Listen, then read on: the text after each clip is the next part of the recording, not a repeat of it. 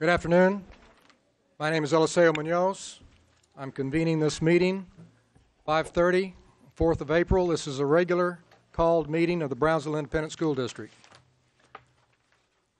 Could we all please rise for a moment of silence?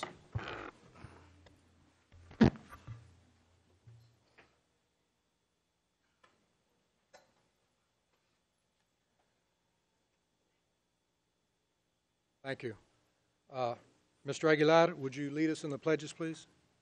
pledge allegiance to the flag of the United States of America and to the republic for which it stands, one nation, under God, indivisible, with liberty and justice for all. honor the Texas flag. I pledge allegiance to thee. Thank you.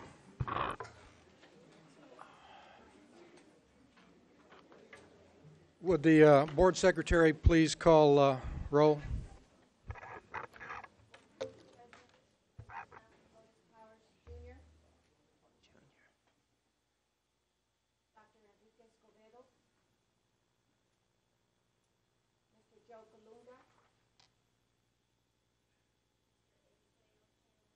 Present. Magvan.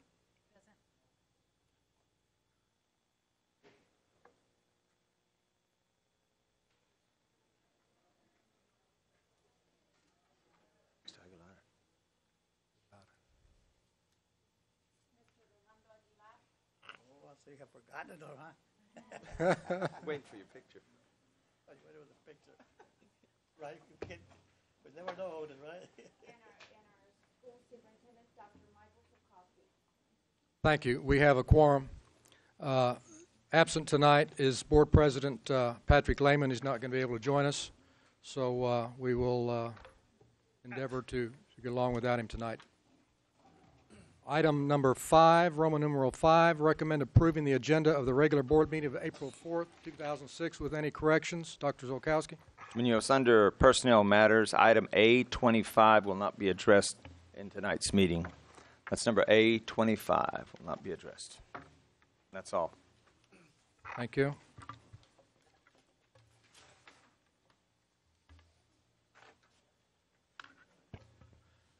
Item six, recommend, Uh, we have to. Sorry. Okay.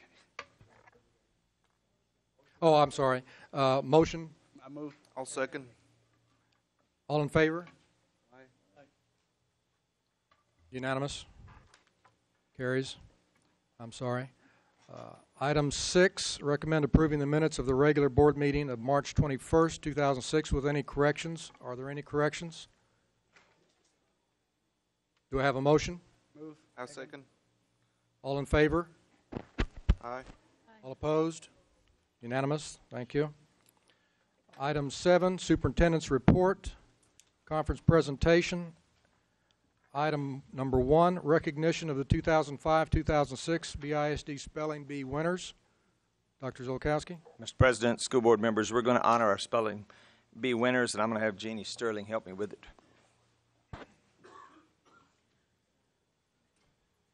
Dr. Zolkowski, members of the Board of Trustees, it's our pleasure to present winners of the BISD Spelling Bee and the Regional Spelling Bee. The BISD Spelling Bee was held on February 11, 2005, 2006 at Paredes Elementary. Uh, Before I introduce the winners, I'd like to add that the Spelling Bee would not have been as successful without the support of many individuals, including the parents, sponsors, and campus administrators, and I'd really like for them to stand and be recognized at this time.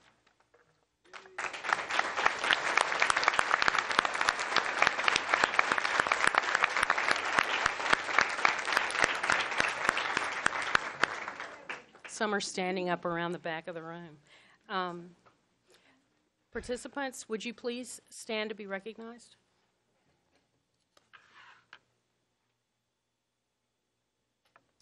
One of our contestants could not go to the regional spelling bee, and so uh, we had an alternate. That alternate was Larib Safir from Oliveira. Uh, and then in eighth place, Marisa Rodriguez from Egly Elementary.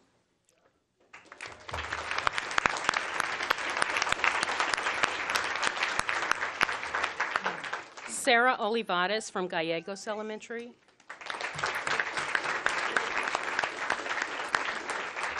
Number six was Blessing Taklobao from Vela Middle School.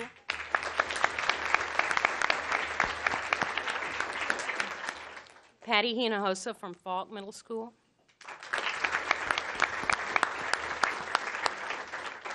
Stephanie Salazar from Pettis was fourth place.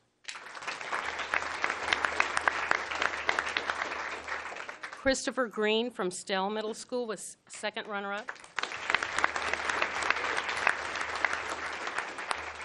First runner-up was Eddie Chavez from Russell Elementary. And the finalist and champion of the BISD Spelling Bee for 2006 was Martha Huerta from Perkins.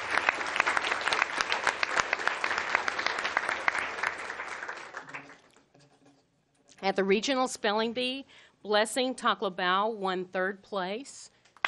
We were very proud of her. Would you like to shake the board members' hands? Participants? Thank you.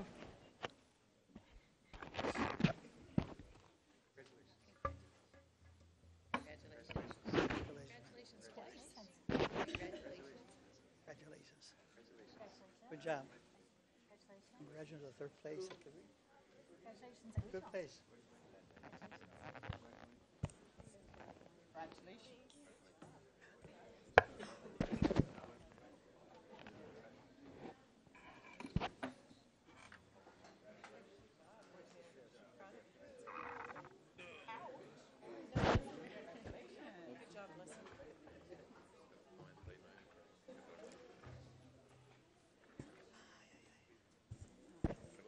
That concludes this year's BISD Spelling Bee presentation. Thank you. Thank you.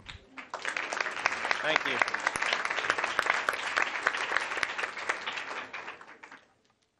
Item two, uh, section seven, item two, recognition of Rio Grande Valley Regional History Day winners. I believe there's 60. Yes. Um, hopefully they all showed up. We're real proud of our history program. Not only did we have the this year the Palo Alto experience, but we've also had had great luck. We've sent more people uh, on in this contest than any other ones we've even started. So at this time, I'm going to turn over to Fernando Pena.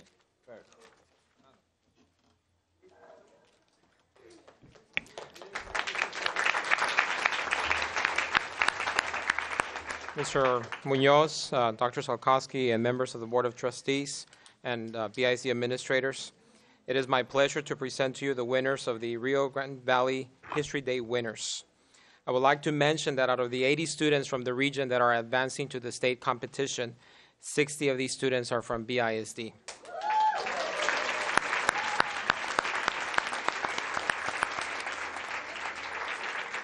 I would like to mention, and this is very important, that this competition would not be possible or successful without the support of a, lot of individuals, like Ms. Sterling was saying during the Spelling Bee presentation. Uh, same thing in this case. We would like to recognize the parents, the campus sponsors, many of them uh, are here with their students, and of course the administrators for their support and, and supporting History Day, you know, every, every year since we've had it in Brownsville. So I would like to ask these parents, sponsors, and administrators to please stand so we can recognize them.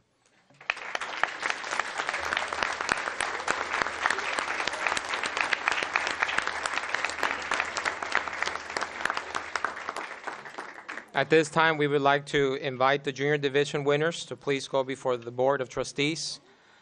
And I would also ask that you please, uh, the audience, save your applause until all students have been recognized.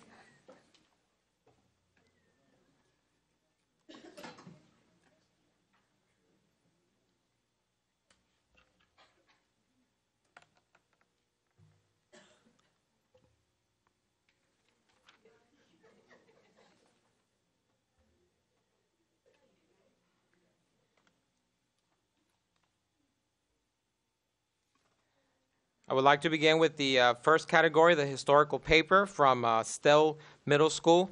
And all of these students, like I said, are advancing to state. We have Nadia Gonzalez in the uh, individual exhibit from Oliveira Middle School. We have Amber Rodriguez. And in this same category from Vela Middle School, we have Taylor Stockton. In the group exhibit from Stell Middle School, we have Monica Telam, Irene Cortez, Hans Duarte, and Alan Hurtado. In the group exhibit, also from Stillman Middle School, we have Virginia Science, Elia Rios, Javier Rivera, and Rodrigo Tostado. In the individual performance from Stell Middle School, we have Pablo Muñiz, and also from Stell Middle School, we have Conrado Gonzalez. In the group performance from Garcia Middle School, we have Carla Vasquez, we have Daisy Reina, Alice de la Rosa, Cynthia Becerra, and Virginia Aguirre. Also from Garcia Middle School in the group performance category, we have Samantha Maldonado, Martín Hinojosa, Leslie Flores, Cristina Valencia, and Noah Solis. In the individual media presentation category, from Oliveira, we have Alexander Campos, and from Lucio Middle School, in this category, we have Chris Polanco. In the group media presentation category, from Lucio Middle School, we have Leonel Villarreal, Jaime Mendoza, and Alvaro Herrera. From Faulk Middle School, in the group media presentation, we have Megan Ferreira and Jasmine Hernandez. And in the individual website category, from Stell Middle School, we have Omar Blanco, and we have from Lucio Middle School, Raul Manny Garcia. I would also like to recognize in the district, we piloted a group website category, and these are the students that, who came in first and second respectively. From Lucio Middle School, Tina Gonzalez, Hernan Sandoval, and Michelle Garcia. And also from Lucio Middle School in the group website category, Pablo Gonzalez, Rene Grimaldo, Chris Martinez, and Felipe Cantu. Let's recognize all of our junior division winners.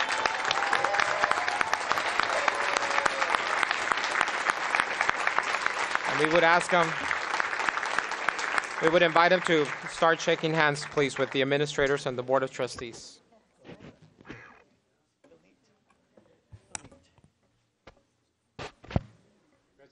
Congratulations. Congratulations. Congratulations. Fine job. Excellent. Congratulations, young man. Congratulations, young man. Thank you. Excellent. Good job, guy. Good job. Excellent, ma'am. Congratulations. Hey, guys, congratulations. Keep it up, guys. Keep it up. Next year we'll do it again. We don't teach those ladies. Congratulations. Congratulations, ma'am. Congratulations. Good job, guys. Congratulations.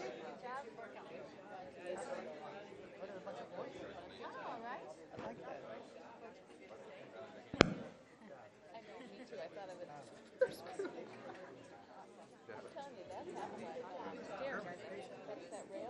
kind of. You in that setting right there.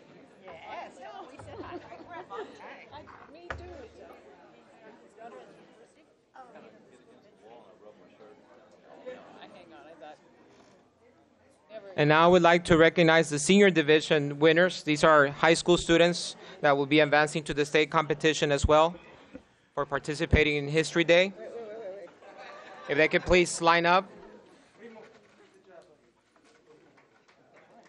Students, if you can stand in, in front of the, the Board of Trustees, just like the middle school students, thank you. Again, I'm going to start off with the uh, historical paper category from Hanna High School uh, John Barone, and also in the historical paper category from Hanna High School, Cindy Lynn Salazar. In the individual exhibit category from Hanna, Jacqueline Pack.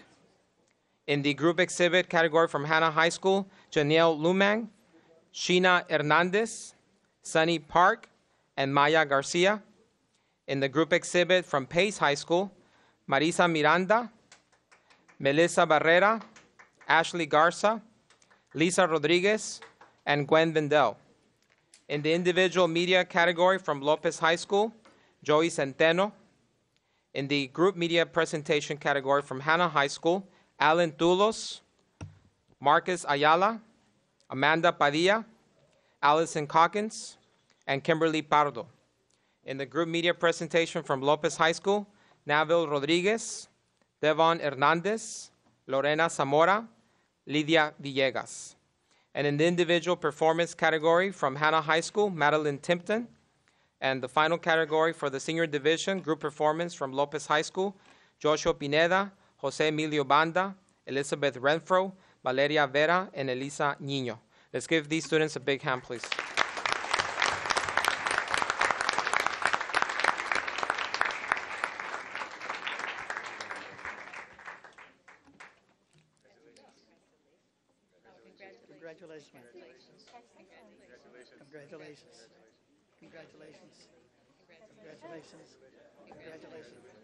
Job, guys. Congratulations.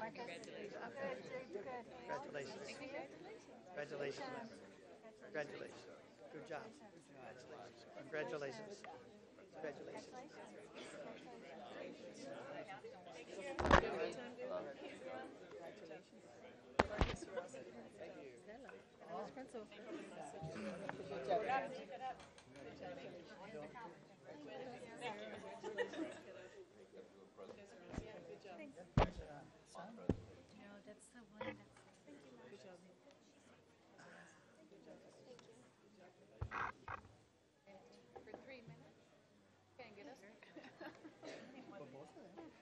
I would just like to add that all of these students will be competing at the state level on April 28th and 29th, and we wish them luck, and we know they'll do great.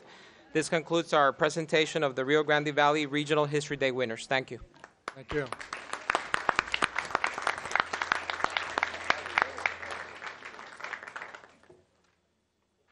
Moving on, presentation item number three, presentation on the proclamation recognizing April 2006 as National Autism Awareness Month. Dr. Zolkowski. Uh, It's a great pleasure that, that uh, we have a proclamation I'd like to read to the board. I know we will take action on this, I believe, under item eight later, but I'd like to read it uh, because it's National Autism Awareness Month. Whereas autism is a lifelong development disability resulting in significant impairment of the individual's ability to learn, develop healthy interactive behaviors, and understand verbal, nonverbal, and reciprocal communication, and whereas autism is the third most common development disability affecting more than a half a million individuals nationwide and approximately 117 BISD students, and whereas autism is the result of neurological disorder affecting the functioning of the brain, but few members of the general public understand this complex syndrome. And whereas a cure for autism has not yet been found, persons with autism can be helped to reach their greatest potential through accurate early diagnosis and appropriate education and interventions that are vital to the future growth and development of the individual.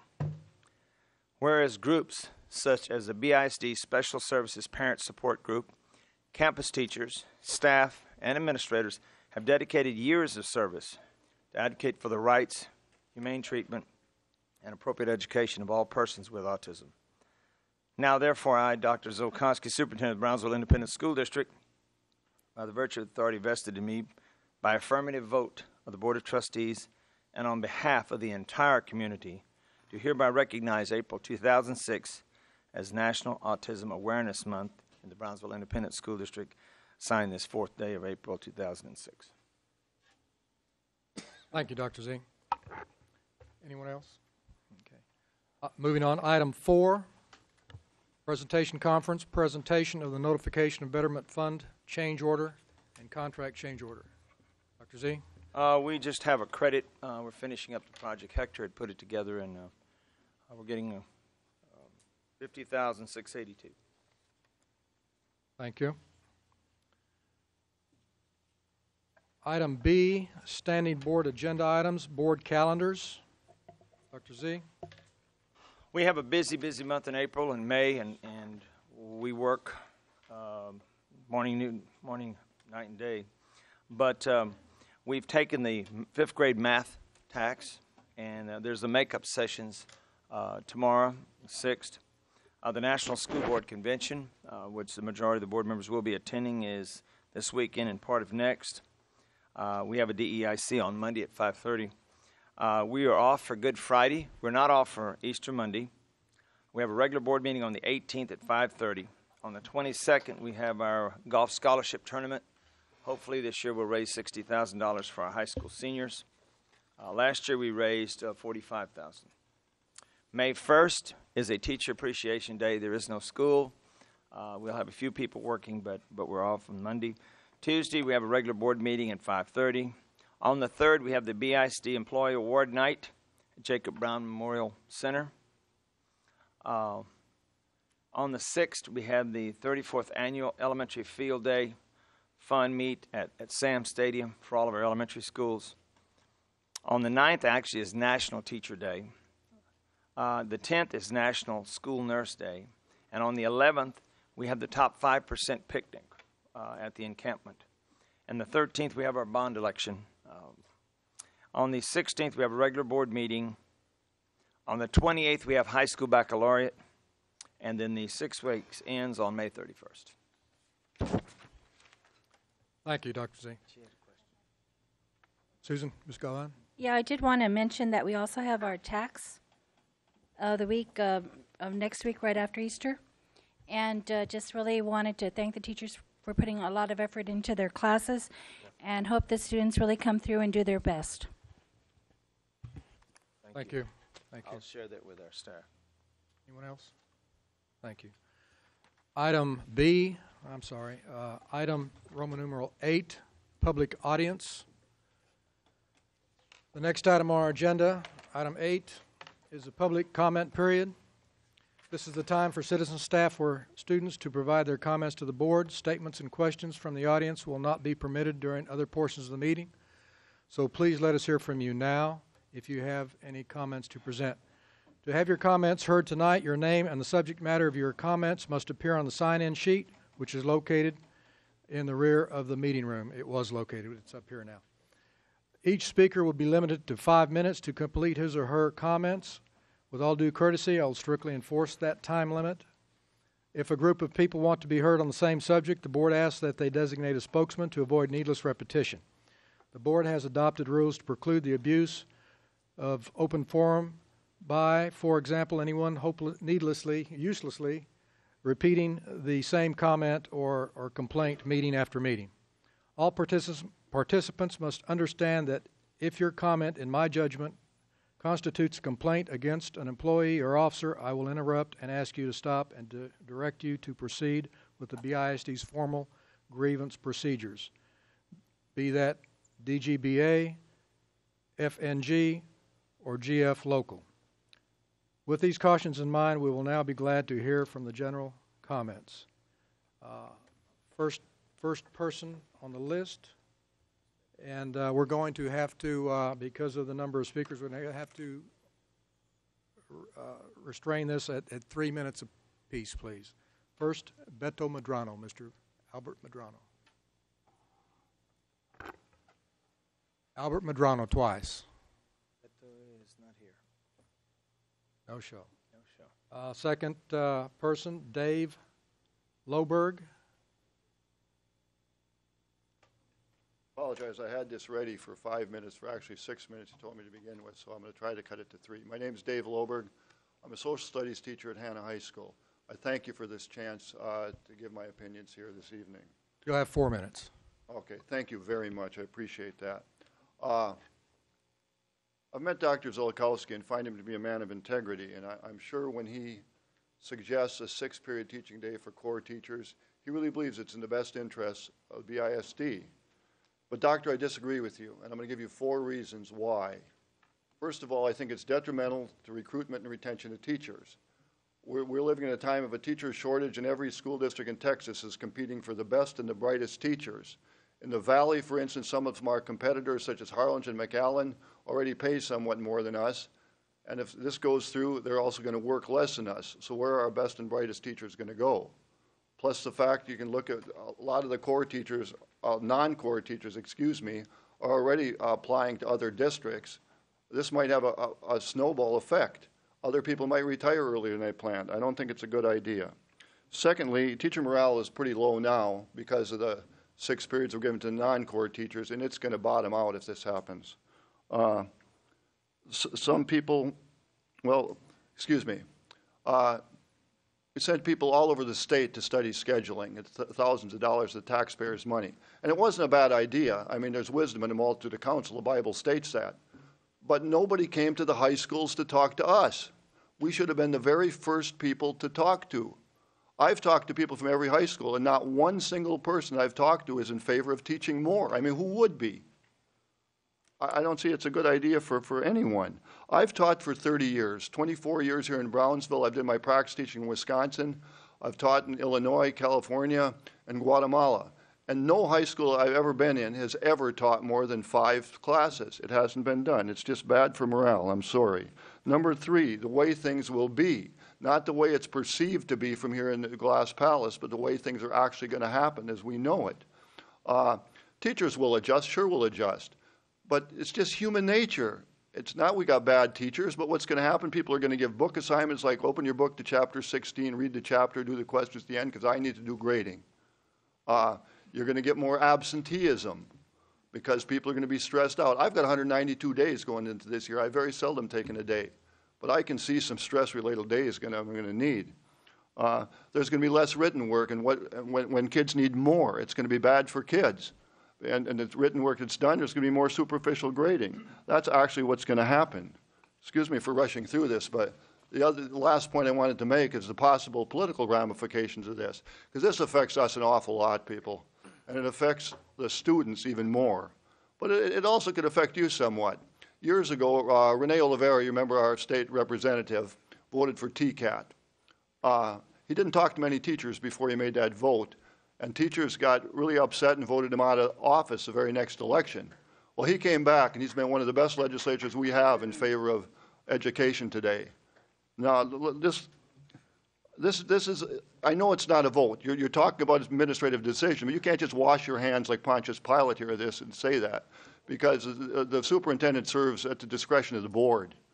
So you do have a lot of pull. You, you stopped it last year. I ask you to please stop it again this year. And let me leave you with one final comment. If you do, if you do really feel that six periods is in the best interest of the school, well, go for it. I'll promise I'll do my best, whatever happens. But if you do want to give us an extra 20% workload, are you also willing to give us a 20% pay raise? Thank you.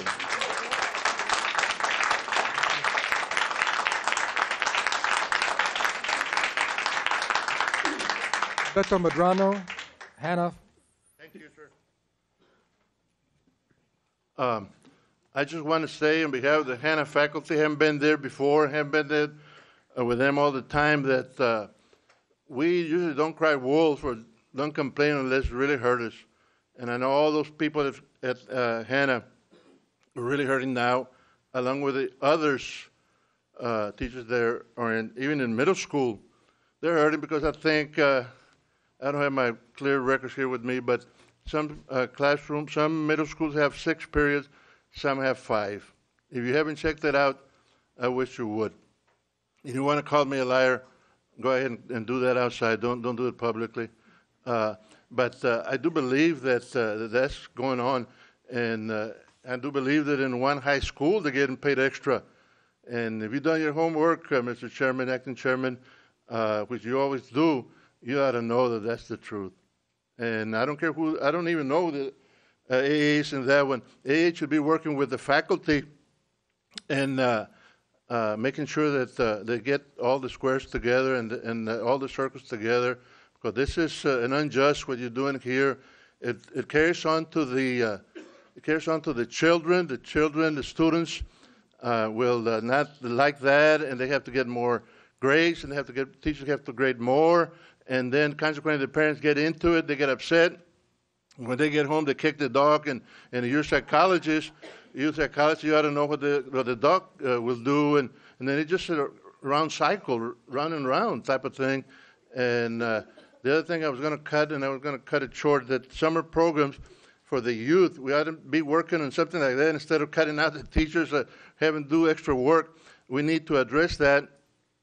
Uh, I'll be working with the uh, city and the county, and hopefully you all can lend me your ears, and maybe we can come up with a summer youth employment program that we used to have it in the 70s, and uh, we find jobs for these kids, even just a little part-time job. We address that to the freshman dropouts, and you'd be surprised how many we could keep in there. We had it for the entire county back then, and it was really working out. I had to travel least, uh, a lot less uh, trips to Gatesville when we were doing that, and uh, and I know it works because I've been there. I've been I've done it as director of youth programs for Cameron County. I've done it as a probation officer, and I feel we can do it again. And uh, I just hope you do the right thing with the Hanna teachers, not only the Hanna but uh, the others. The, the others are afraid to, to speak. Hanna has never been afraid to speak out because we have about three or four. They're almost going to be attorneys, and uh, and those that uh, that uh, have a lot of days off will take them. They, will take him. Uh, like I never took a day off uh, before I had the heart attack. I had uh, thousands of uh, day offs, and then, until I had the heart attack and and neuropathy in my legs, that when I was at boot camp, uh, teachers don't want to take days off. I, I never known a one that intentionally want to take day off. And uh, with that in mind, I tell you, do the right thing. Those of you that have been in education before, what did I tell you last time? You've not been in education, not been in the classroom. Sometimes you don't need to serve. We don't need to have teachers or need to have uh, people that have not been in the classroom, and, and I, I'm not counting on, uh, on the ones that have been. And uh, Otis and I talked, and I said, I didn't really mean him because he has a, a sister and, and family members, superintendent, principal. So he, he knows he knows what to do when the going gets tough. He's going to back the teachers up. You wait and see. He always gives us salaries. He always out there for sick leave. He's always out there for the best. And if Mr. Aguilar can join him, we got two there, and, uh, Mr. Colunga and Mr. Escobedo. Uh, I know that Mr. Munoz will not uh, uh, help us because he, he thinks the teachers are making too much money anyway. So uh, th- with, with that in mind, uh, thank you very much. I appreciate that you didn't cut me off. Friend? Albert, I probably should have. I probably should have, Albert. Next, next uh, speaker is Kathleen Jimenez. Kathleen Jimenez. Recognition of SFL units. Good evening, Dr. Zolkowski, Mr. Munoz, and members of the board. I am Kathleen Jimenez, Special Education Supervisor, and I'm representing Special Services in recognizing April as National, National Autism Awareness Month. We are excited to share information with the community and district staff about autism and to celebrate our students with autism through a variety of activities. If you'll turn to page 27, there are a list of, what, um, of some of the activities we're offering for this month. Also, um, placed beside your paperwork are some ribbons that represent autism. Um, I thank you and invite you to wear those ribbons during the month of April to support our students. We would like to kick off this special month by recognizing administrators, teachers, and paraprofessionals from the three schools who have piloted the Structure for Life classrooms this school year. The successes and educational progresses of so many of the students in those units with autism are attributed to these wonderful people. So, if they would please come up front, I'd like to recognize them.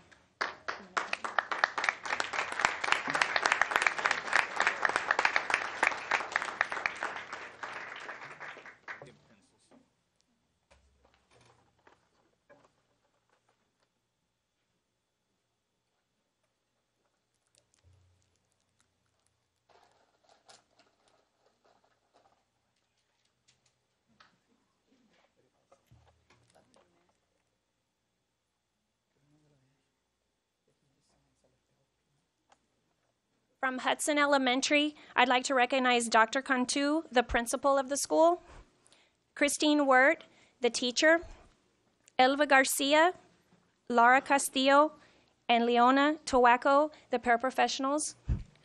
From Garden Park, I'd like to recognize Mr. Garza, principal, Pa- Pam Downing, the teacher, Rosa Pena, Billy Salazar, Esme Medrano, and Alex Garcia, the paraprofessionals. From Morningside, I'd like to recognize Mr. Corkill, the principal,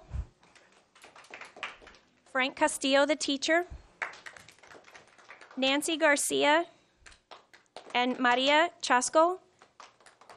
And I'd like to recognize Manuel Rocha, our behavior specialist and in home parent trainer for the district. We truly appreciate these people, and I would love for everyone to give them one more hand. Or thank you.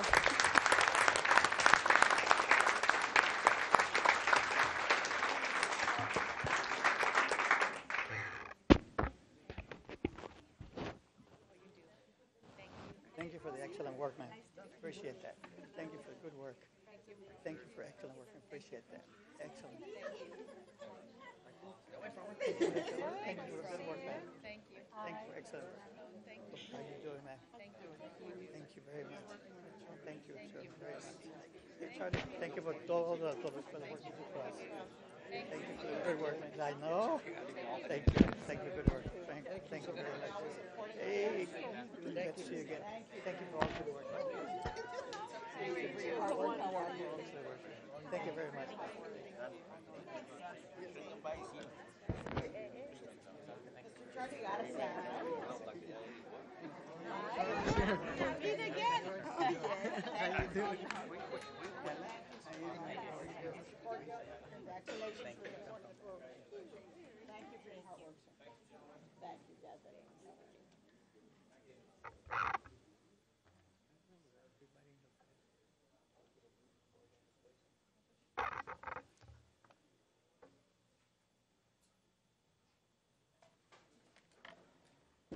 Thank you, Mrs. Jimenez. We do appreciate you, the group's efforts.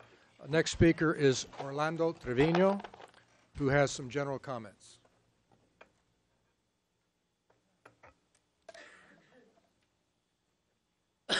Well, ladies and gentlemen, my name is Orlando Trevino. Mr. Acting uh, uh, President, Mr. Munoz, rest of the board members, administration, and the public. It's been a long time since I've been here. The only time I show up when I think there's something going wrong. I've always, I've always believed in our teachers, and I've always believed in our students. I've always believed in our parents, and I've always believed in our community. By rescheduling and adding a sixth period, you're creating a lot of problems. You're creating a teacher who's going to have to have more time to grade all those papers. They got their own kids. They're not going to have enough time for their own kids. You got the student who's already uh, taking assessments tests. He's having that extra class. Now he's going to have to worry about taking uh, passing six classes in the assessment test. When I was going to high school, and the majority of you were going to high school, we had no problems. We took the, all those classes, but we didn't have an assessment test. When we graduated, we graduated. One of the main things that you're going to create, and I will go against anybody on that one. The one thing that you're going to create, you're going to create a lot of people having uh, high blood pressure. You're going to have a lot of people having stress, and that goes for the students as well as the teachers. You're going to have the parents who are not going to have the time to help those students. We're always uh, stating the parents need to get more involved. Well, the parents are already having enough problems with uh, what the kids have right now. What are we trying to do to the employees? Are we trying to demoralize them to the point that they're not going to help you all no more? They're the front line. I'm, I'm sorry to tell you, they're the front line. They're the ones that protect you and protect our children. They're the ones that teach our children. When you put them to a level where they're going to be missing because of uh, whatever stress or whatever, then you're going to have a substitute. A substitute does not teach as a regular teacher. He's in there just to, he's, he's got a copy of a list of, okay, this is what you're going to do. Then you got 25, 30 students. Okay, you cannot take, there's no way you could take even a minute and a half for a student that uh, doesn't understand a problem, whether it's this or that. Because if you multiply that times 30 kids, the classes were 45 minutes. Five minutes of that is for the kids to prepare to get out of class. Five minutes is to take roll call. That gives you 35 minutes. And I'm sorry to tell you, I'm not a math wizard, but it doesn't take a rocket scientist to say we don't have enough time as it is. These, pe- uh, these teachers have done everything for you. You're putting them to the point that I'm sorry to say, they're not going to work for you. And when they don't work for you, it's going to kill the parents. And when it kills the parents, it's going to ki- kill the community. And, wh- and you all sitting up there are the ones that are going to get affected because you all do have a right to make a decision to say no. Our, the people right here, take a look at it. I don't care what anybody says, they're stressed out. I've seen a lot of teachers, they're stressed out. I've seen a lot of students, they're stressed out. We cannot add any more stress. And as far as the bond issue, I'm glad that you split it up. We do need a high school. But we're not, we're losing so many teachers, we're so, losing so, many, so much manpower. Not only for one reason, because they're being underpaid. But the second thing, the reason that we're losing them is because we're adding a workload that they cannot handle. I'm sorry to tell you, they cannot handle when, when you got to have a teacher not only prepare to teach those six classes, but also to prepare to teach assessment. There's no way you can do two things. And it's like a car. You run it too, too much, too fast, it's going to break down. Thank you very much.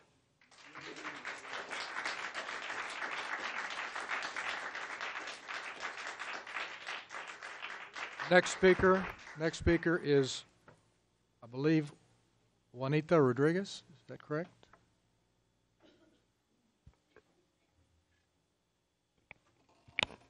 Good evening. I'm here as a taxpayer, I'm here as a citizen, but I am not here as an employee of BISD. But far more than anything else, I'm here as a parent.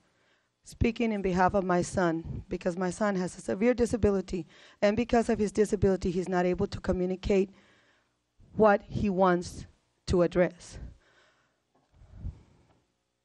And I apologize if I get emotional. On April the 1st, my son competed in the Special Olympics at Sams Stadium. My son competed in the 50 yard uh, meter, and he won third place. But for some reason or another, by mistake of human error or mistake of someone that was not paying attention or maybe it was not directly correctly, my son was given a first place medal, which he did not earn and which he did not deserve. At the time, there were several parents that were there that witnessed this and were very concerned. I was approached by many parents very upset that my son was being given favoritism. And at no way was my son given favoritism. I addressed this with a supervisor, I addressed it with the special ed director, and I pleaded with her to Munoz, please make that Mr. Munoz, correction. I I think we have a a violation here in that uh, we have. I did uh, not mention i- any names, I just said the Readily supervisor. identifiable as far as. I did not uh, mention any names, but I do need to let them, let you all know Mr. Munoz. that who was the person This that is- I directed myself to, to correct that issue.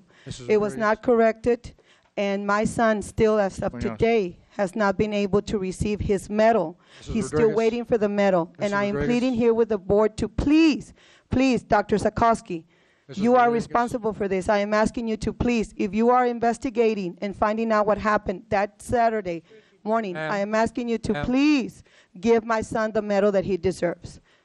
Okay? That's all I'm asking here, and that's all I'm here for. Thank you, Mrs. Rodriguez.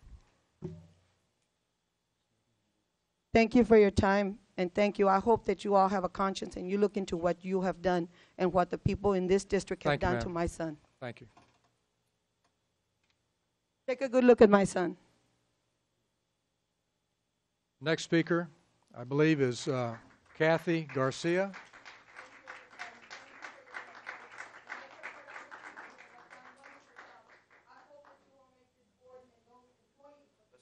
Kathy Garcia.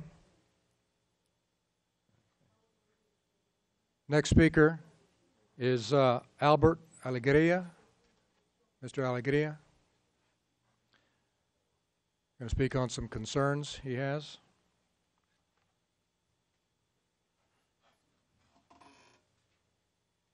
Good evening, members of the board, President Munoz, Dr. Zolkowski, ladies and gentlemen. My name is Alberto Alegria, the proud president of the Association of Brownsville Educators, 1,609 members strong. We are concerned and perplexed that administration continues the attempt at a very crucial time bond, during the bond propositions to promote the idea that if core teachers in the high school and the middle school teach six periods instead of five, that the TAKS scores will increase.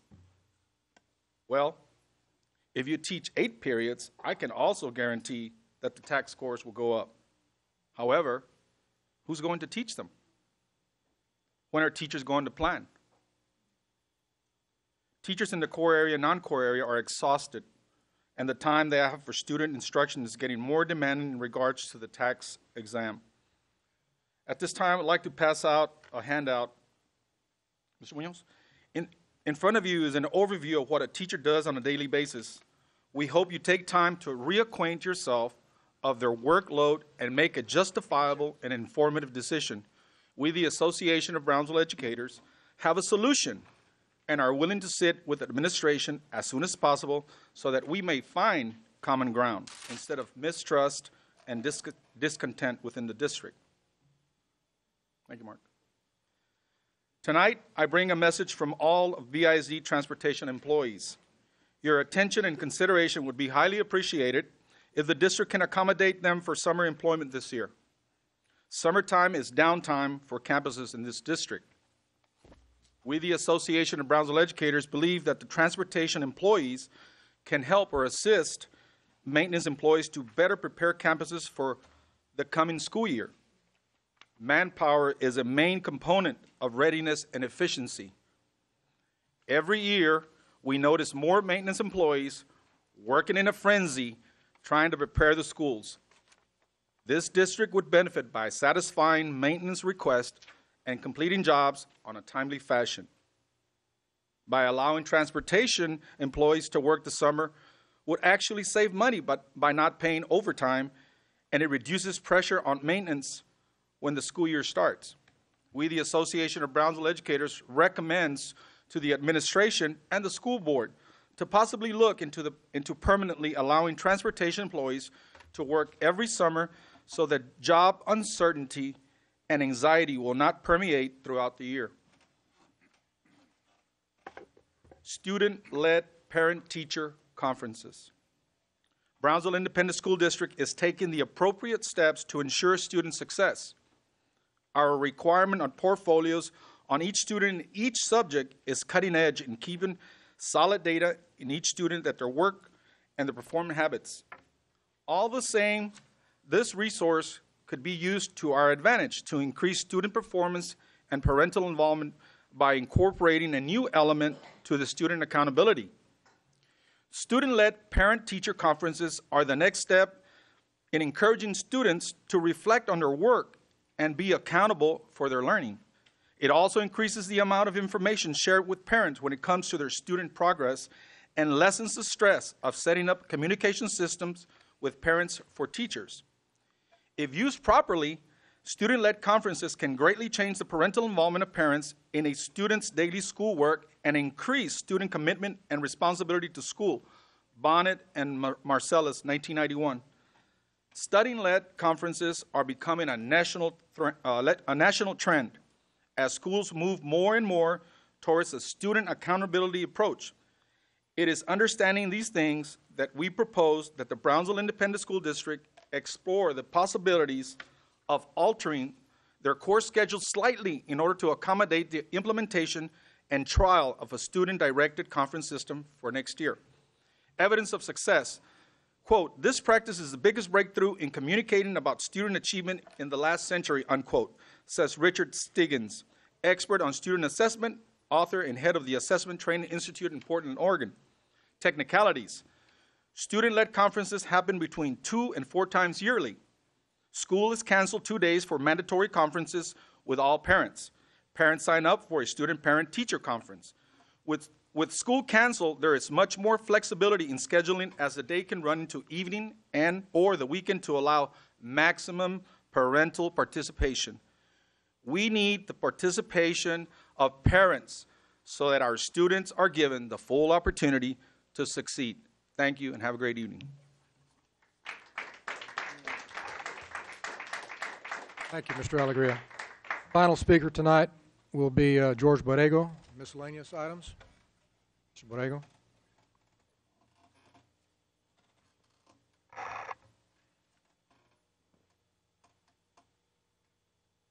Always save the best for last. Uh, Item number one, what is the status of our satellite bus station? Gas costs continue to rise, and I don't want my pay raise going into the gasoline pump for transportation. I hope we're still looking at that issue and uh, working to resolve it because gasoline is scheduled to go to $3 a gallon. By the way, the stock for Valero went up 81 cents yesterday. Hello. They're taking us to the cleaners. Item number two, I urge administration and the board to be cognizant of our teachers, our workload, our stress level. Four of you have been in the classroom. Please remember the classroom and when you were there. We have a speech teacher who is non core at Porter who has 191 students, six classes. It's not right. It's not right. In fact, I think our non core teachers should go back to five periods so we can have equity, so that we can have equity with our peers. Uh, finally, I have good news. I'm in receipt of a letter which I'm going to read to you and I hope I don't go over my three minutes. Uh, It's made out to Mr. Borrego. That sounds good. It's in reference to the bond issue.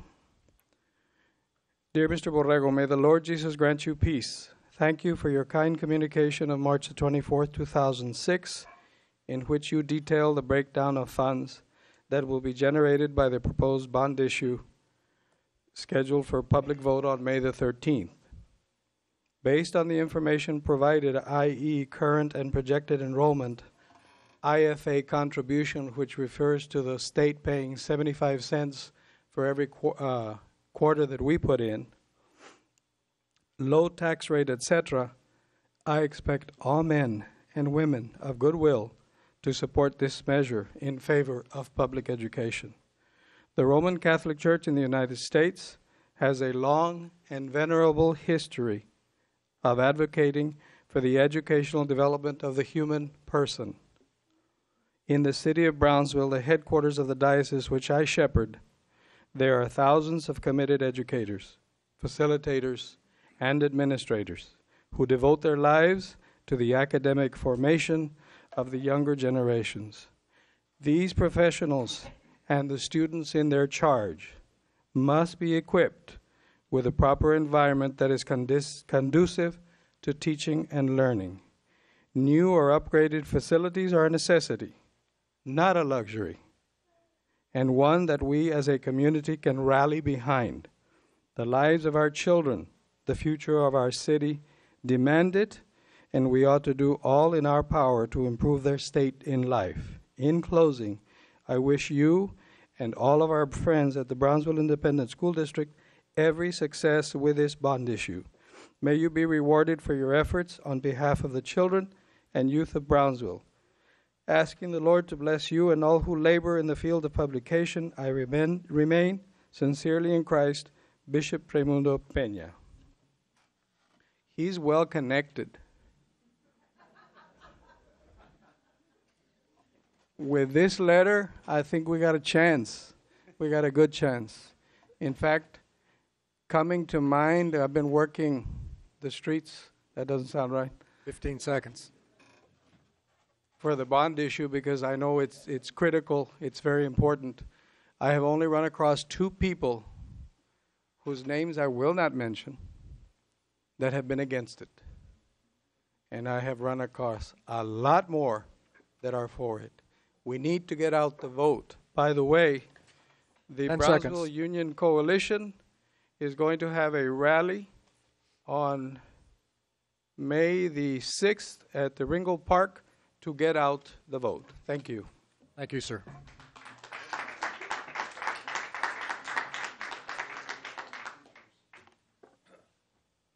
Moving on with the agenda, we're at item nine, Roman numeral nine, consent agenda. I've received a list from my colleagues indicating that there will be no need for discussion or deliberation on the following agenda items. Item six, uh, section A, item six, item eight, section B, item nine, section C, item 10, 11, and 12, section D, item 14, uh, and uh, we will discuss all the other items. Uh, I'll entertain a motion to approve the recommended recommendation of administration. I'll second. It's been uh, moved and seconded. All in favor? All opposed? It's unanimous. Thank you. Thank you. First item on the agenda is item seven. Recommend approval to declare obsolete equipment as surplus to be sold by public auction on Saturday, April 22nd, 2006. Do I have a motion? I move to approve. Second. It's been moved and seconded. Uh, Any discussion? Do we have discussion? Mrs. Galvan? Yes, um, on the items that are obsolete and surplus, I was noticing on the computer equipment, there were uh, CPUs, 788 CPUs, uh, even monitors are over a thousand. And um, I was just wondering what, if there, for possibly future or or to take into consideration um, them being used as word processors for students that possibly need computers. I don't, I don't know how, how unusable they are. That would be interesting to find out. But I do know that we have a lot of students out there that do not have um, computers and, and uh, possibly parents at our parent centers. But uh, if, if it could be possible that we could have computers in use or, or looked at uh, for other use rather than just to be used as obsolete or surplus equipment, uh, we do have the need out there. Thank Dr. Mr. Zolkowski? Sanchez? Mr. Munoz, um, board members, um, I've asked the question of, uh, of uh, Robert Fisher, because when we take these computers to the auction, um, he has first shot at it. And so I'm going to let Robert explain to you what we go through uh, before the audit.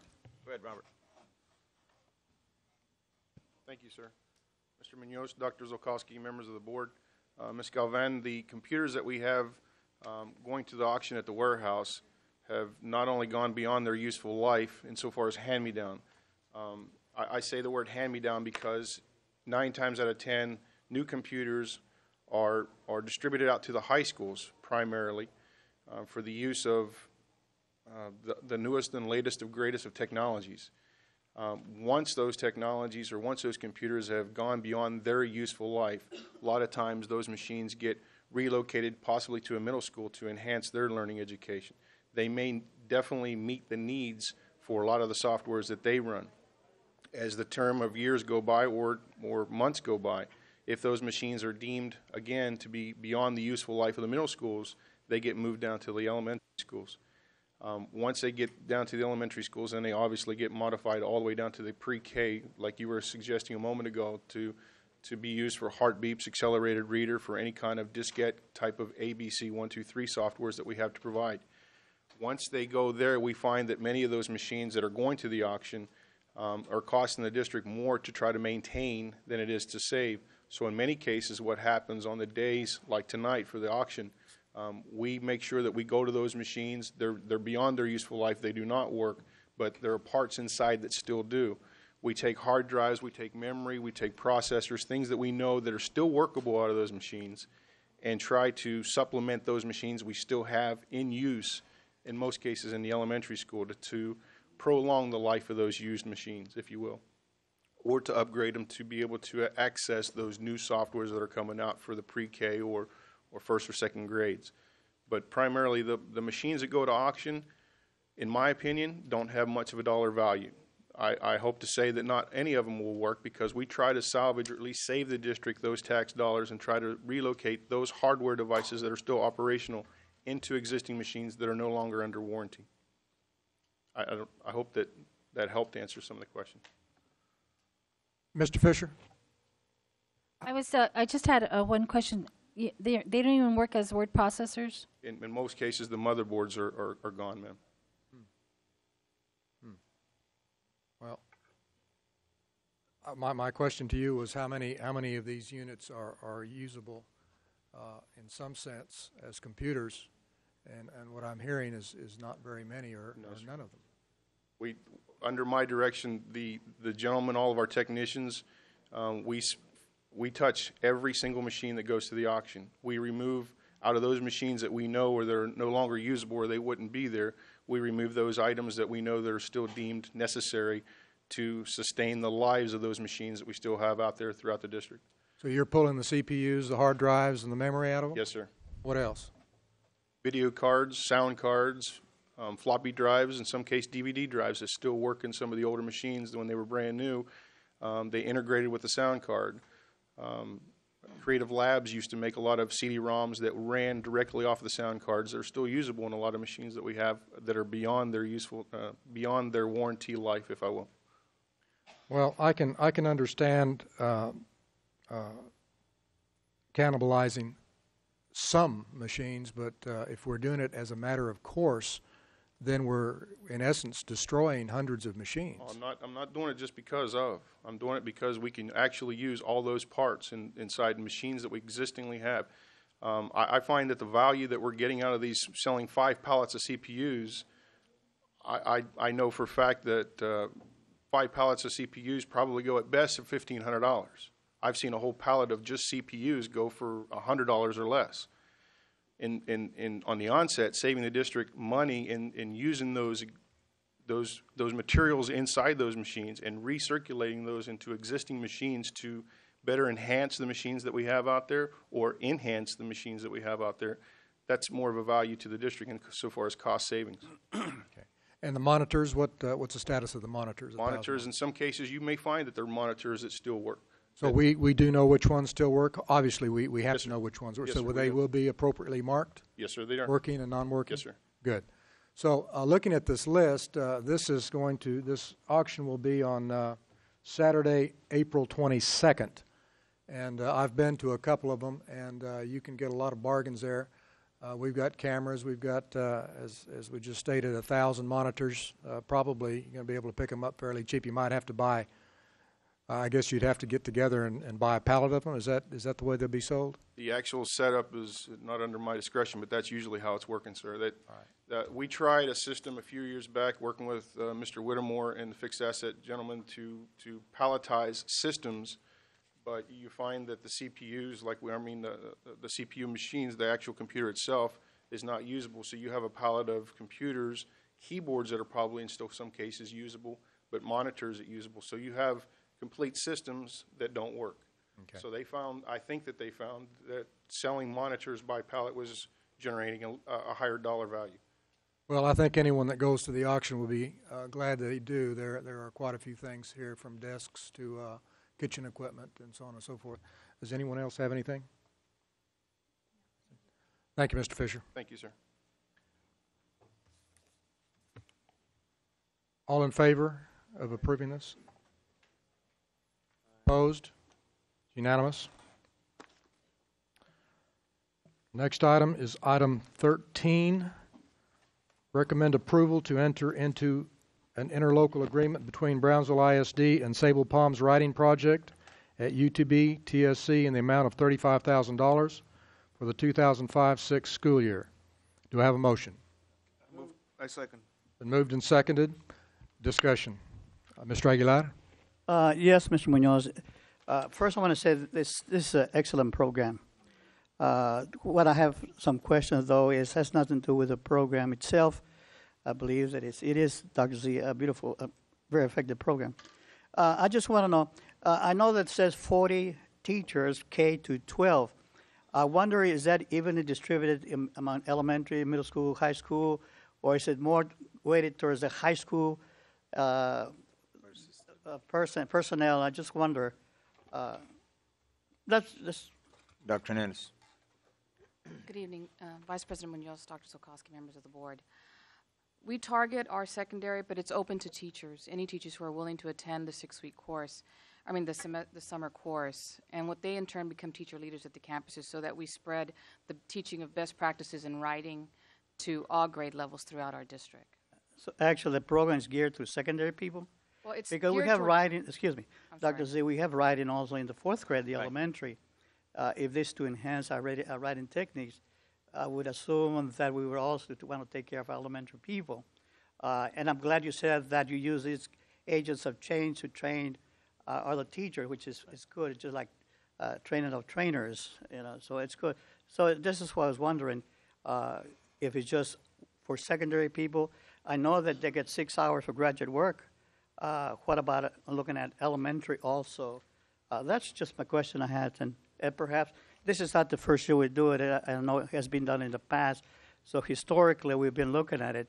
So I was just wondering, can we look into this? We, we, we can look into that. We've had this Thank you, program since yes, 1996. and it's been very effective. But We, we have also some New Jersey, I believe, writing projects Yes, in uh-huh. the district. So we have some writing. And actually, we score pretty well in writing Yes. uh, in our school district, if you look at the scores comparatively, uh, which is, is good that we are doing writing. But we will look and see if we can expand it. thank you, sir. Any other discussion? We have a motion and a second. All in favor, please say aye. Aye. All opposed? Passes unanimous. That being the, uh, the, uh, the, the conclusion of, of, of discussion items. We are going into closed meeting pursuant to Texas Government Code, Section 551.071, 551.072, 551.074, 551.082, also 551.084. We'll be back.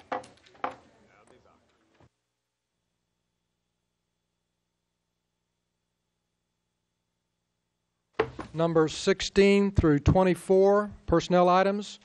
Do I have a motion to uh, approve as discussed?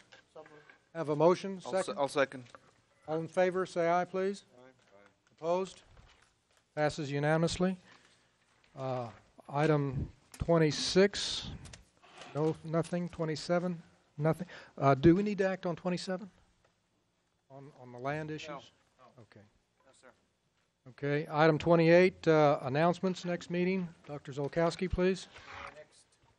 Meeting is April 18th, and we'll be, uh, we have two, two major things we're currently working on, just to let people know. We're working on the, uh, we've been working for the last month on the number of bus drivers we'll be looking at for employment. It'll be a presentation item. And second of all, we'll be naming the new elementary school. And uh, how about, uh, I thought we were bringing back uh, Project Grad? We're still working on that. That's not ready yet. Supposed to come back this time. Okay. Anyone have anything, any announcements? Do I have a motion to adjourn? So move. Moved and seconded. All in favor?